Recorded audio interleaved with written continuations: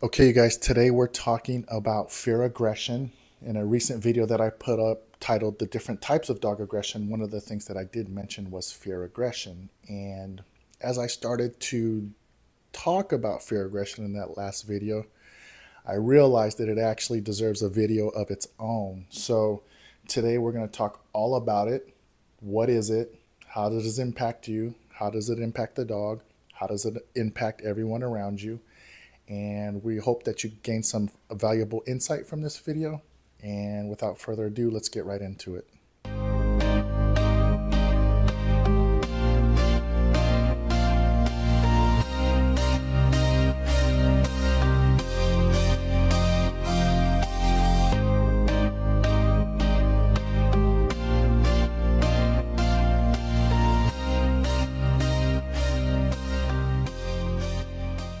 Okay, you guys, so some of the key points that I want to hit on today are going to be what exactly is fear aggression. After all, that is the title of the video. Um, but other key points that we're going to mention are going to be signs of fear aggression, causes of fear aggression, the impact it can have on us, misconceptions about it, assessing the severity, approaches to managing it, the role of professional help, um, safety measures and the importance of just being patient. So let's get into those key points and let's start off with exactly what is fear aggression. Fear aggression is a defensive behavior that dogs display when they feel threatened or scared, okay? Unlike other forms of aggression that may be rooted in dominance or territoriality, fear aggression is rooted in a need for self protection. Dogs displaying fear aggression often perceive something as a potential threat and react by trying to ward it off. This can occur in various situations, such as encountering unfamiliar people, objects, or even other animals. Okay, so what are signs of fear aggression? What does that actually look like? Well, fear aggression can be recognized through specific behavioral and physical signs, okay? A dog may growl, bark, snap, lunge, keep their distance at perceived threats. You may also notice that the dog's body language is showing signs of fear with the tail tucked, hair on their back standing. Um, uh, they may be, their ears might be pinned back. They might be wide eyed. They might be giving you a lot of eye contact with wide eyes. Uh, they may be crouching a little bit. Those are all real basic type of behavioral cues that you can see in a dog that is displaying fear. They may try to keep their distance from you as well when you see those kind of behavioral traits.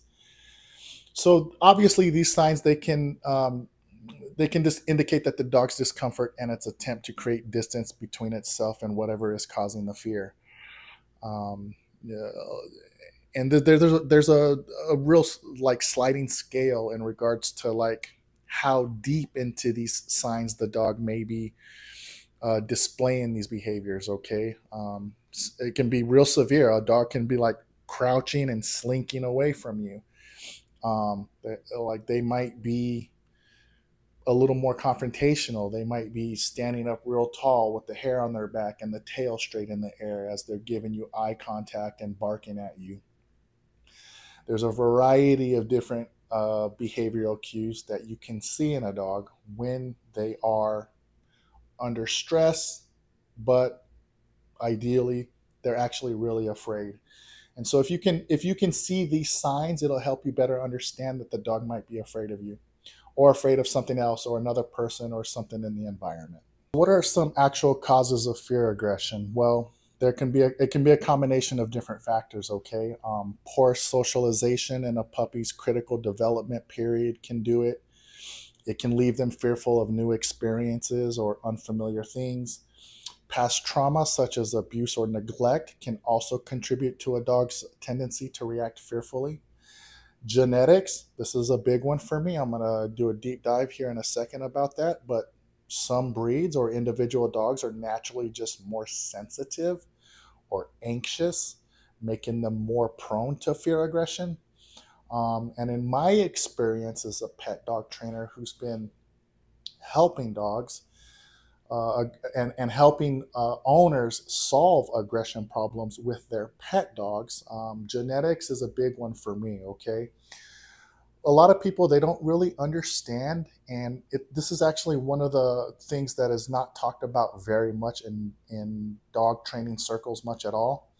But fearful dogs, a lot of times, um, there's just a genetic predisposition to being afraid. This is not something that we intend to do, okay? Let's be clear about that. Um, it is just a byproduct of breeding dogs in general. We can have the best uh, male and female with the, the, the, the best temperament and the best qualities that we're looking for in a dog. We can breed those dogs and of the eight puppies, there might be one in there or two in there that just come out uh, being fearful. It's just a byproduct of breeding. It's not something that we intend to do. It is just something that accidentally happens when we're breeding dogs. I can verify this. Docu- I have I've documented this in my journey in dog training because I go into many, many, many homes where families have brought a puppy home from a breeder. The, the puppy has had all of the right exposures, all of the right experiences. The puppy has never been mistreated. And then when the puppy starts to mature and becomes an adolescent dog, we start to see these signals that the puppy is afraid. And again, environments are very important when it comes to genetics. Environments have the ability to either allow a dog's genetics to thrive or be suppressed. So this is really important to understand. A, a lot of a lot of puppies now mistreatment does happen out there. Let's not um, let's not like overshadow that and disregard it, it is important dogs are neglected and abused. But here's the thing about this, you guys dogs are associative and circumstantial learners. If a dog is mistreated by someone, very rarely does that actually transfer to the rest of the world. Okay? Usually, it's it's situational to the individual or that particular environment. Now there are some exceptions to that, okay? Some dogs will start to tread cautiously wondering if the rest of the world is this way. But when we're talking as a whole, this is very rarely the case. Okay, so we can we understand that um, environment has a big role in this. Mistreatment has a big role in this, but a lot of times dog, dogs just have a genetic predisposition to being fearful, and training, especially with severe fear aggression, training will not change this. Okay, it will not make this go away. But as I just mentioned, environments either allow a dog's genetics to thrive or be suppressed. And so, in many cases, we're just trying to suppress this aggression from a training point of view.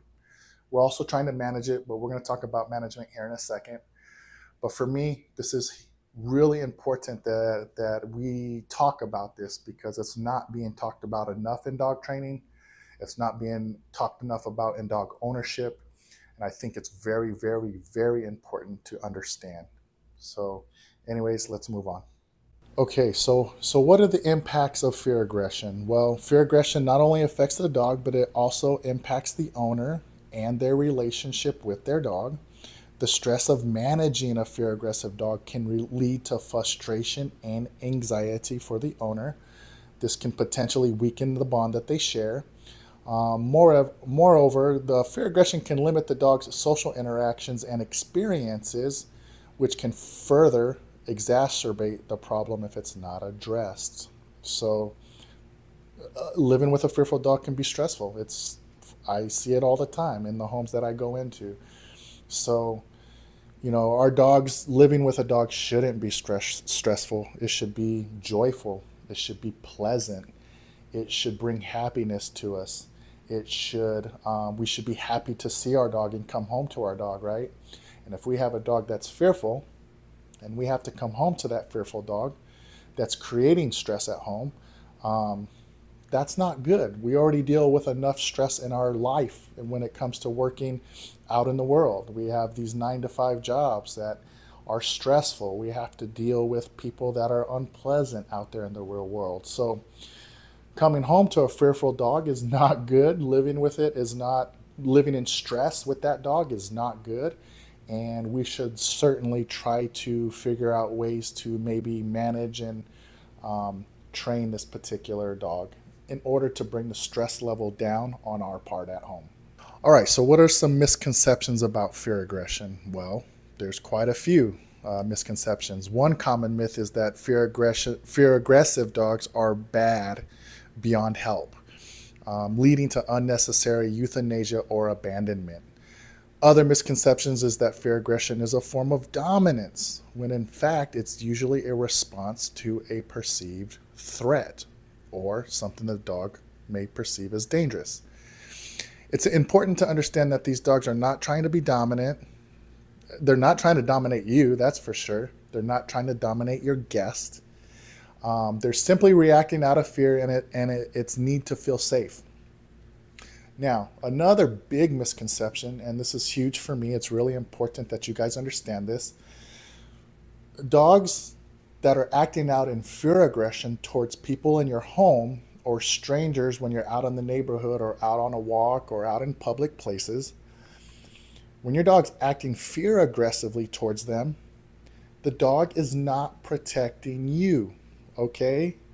Let me say that again. The dog is not protecting you. The dog is protecting itself. Now, we can make the dog feel like they're doing the right thing when we try to coddle them in a way that we made it in a way that we may try to coddle someone else, another human being in particular. Uh, but dogs, uh, remember, uh, uh it, reinforcement's really important here, um, and uh, coddling can be misinterpreted as reinforcement. So when you're trying to console your dog and the dog's acting out in fear aggression, be careful about that. You may be unintentionally reinforcing that aggression. So Really important. I just want to say it one more time. The dog is not protecting you, it is protecting itself. One last side note on that topic. Um, uh, I mentioned that the dog is protecting itself. You guys, it's really important to understand that uh, dogs don't protect us naturally, okay? Some dogs, they're territorial by nature, they'll bark at things. But a dog that's protecting you, that is a trained skill that you have to teach the dog, okay? It doesn't come naturally. So, protection training is a skill in of itself. It takes a lot of work, and dogs don't do this naturally. We have to show them how to do this in training, okay? Okay, you guys, we, we thank you for sticking around and watching the video up to this point. If you have found the information to be valuable and helpful, definitely subscribe to the channel. We would love if you support the channel and the content. Um, all It's just a click of a button or a touch of your screen. And if you're interested in training equipment that we use and we approve of, uh, definitely check all the links down below. There's uh, there's toys, there's training equipment, there's muzzles, there's crates, all of the things that we may need to use to train a fearful dog. You can actually find below. So give those things a look as well. Let's continue with the video. Assessing the severity of a dog's fear or aggression involves observing how frequently the dog reacts, what triggers the aggression, and the intensity of the dog's response. An example, as an example, some dogs may only show fear aggression in specific situations, while others may react in a wide range of circumstances. The severity can also be gauged by the dog's threshold how easily it is triggered, and how quickly the dog can recover after an aggressive episode. A professional assessment is often recommended to develop an appropriate treatment plan. Because here's the deal about this, you guys fear aggression, there is a, a, ginormous sliding scale in terms of how severe or mild the fear aggression can be. Incredible, incredibly mild cases, dogs are probably going to be a little more flighty in regards to the fight or flight response, when they are confronted with something they're afraid of. So, a real mild version of fear aggression is a dog who's going to tuck and run. But it can get real severe, okay? So severe, in fact, that we label these dogs fear biters. They try to run up behind you and bite you from the rear. They try to get you from behind, right? That's a that's a fear biter. And it can get real severe. The dog might just try to nip and run or the dog might try to latch onto you and and, and try to like end you because the dog is that afraid. But this is not good on the dog's part. It's coming from an incredibly stressful point and perception from the dog. And so a professional assessment is very helpful in this sense because we want to we want to be able to determine whether or not this is resolvable from a training point of view. There are some cases that are not, you guys, okay? So that's really important to understand. It's a good idea to find a dog trainer and kind of like determine whether it's resolvable or not. Do your homework on that though, okay? Okay, you guys, so what are some concepts in regards to maybe addressing or managing fear aggression? Well, from a training point of view, it typically involves some behavior modification concepts that can help change the dog's emotional response to the triggers. Desensitization is a component of that. It involves gradually exposing the dog to the fear inducing trigger at a level that does not provoke aggression. Um, while counter conditioning pairs the trigger with something positive like treats to ideally create a more positive association with what, what triggers the dog to be fearful. Um, when it comes to a tra- when it comes to training in particular, we, there's essentially just a few a few approaches. Okay, there's going to be an obedience approach, meaning uh, if something triggers my dog to be aggressive, I can make my dog hold a sit stay or a down stay, so that the dog's not able to freely react to the potential trigger.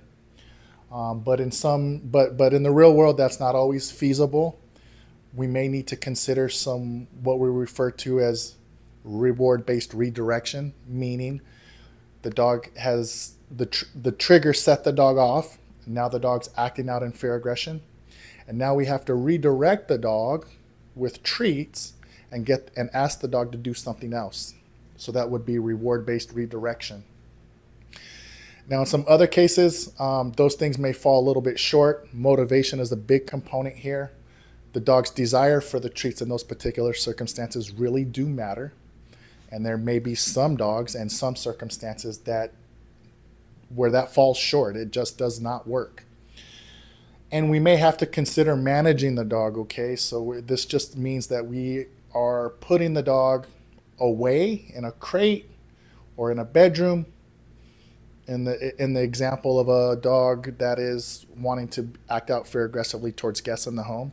So removing the dog from the environment is a management concept that we can consider when we're trying to minimize the dog's success at being fear aggressive. Um, and then the last consideration that we need to make for this, you guys, is going to be punishment.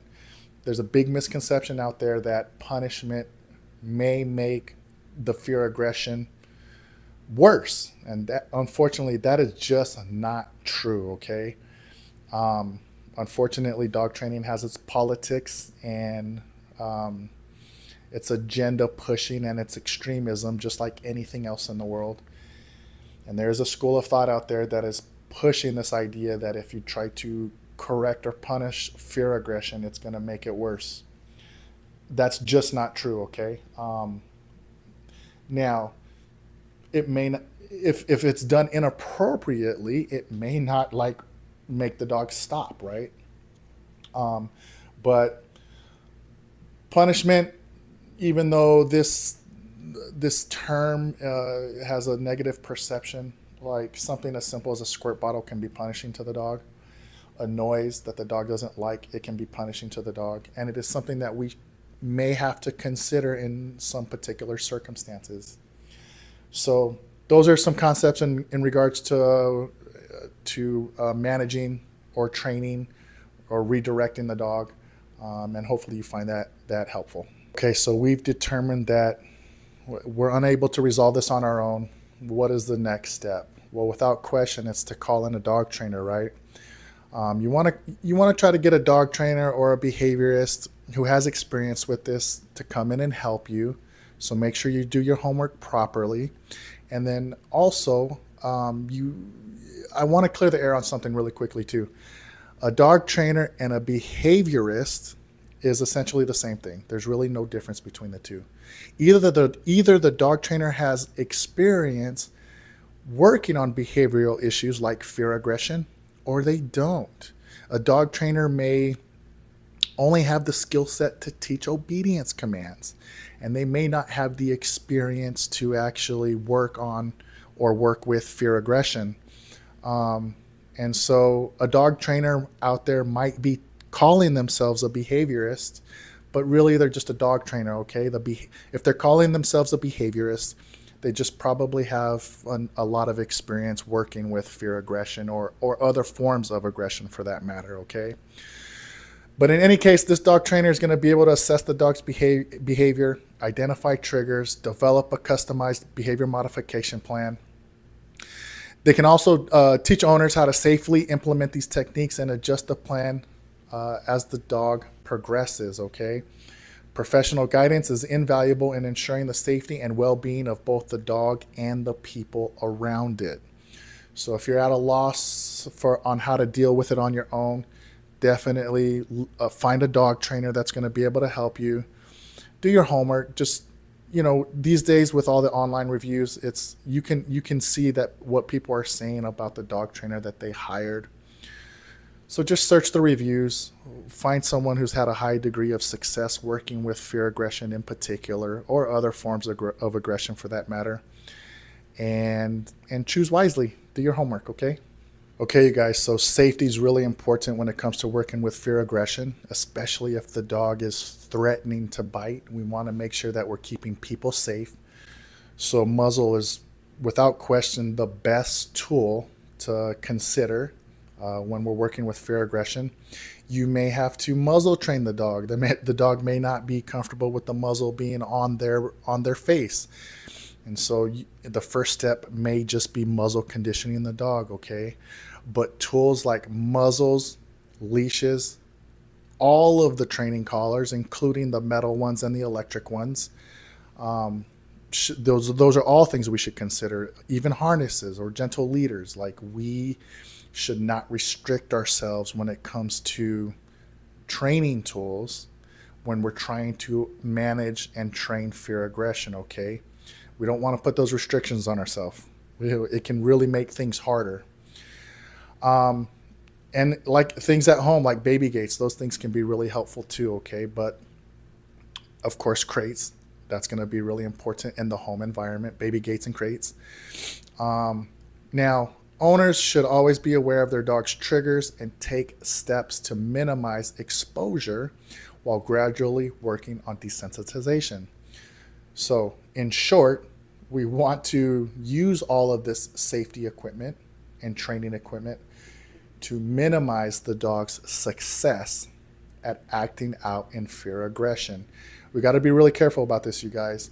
There is a conditioning concept that comes into play here I'm not going to go too in depth about it, but we don't want we don't want dogs classically conditioning um, their fear aggression. Right? It's that's bad. It becomes involuntary after a certain amount of successful repetitions. So get on it early, find help early, but safety is absolutely a top priority. Do not restrict yourselves when it comes to training tools.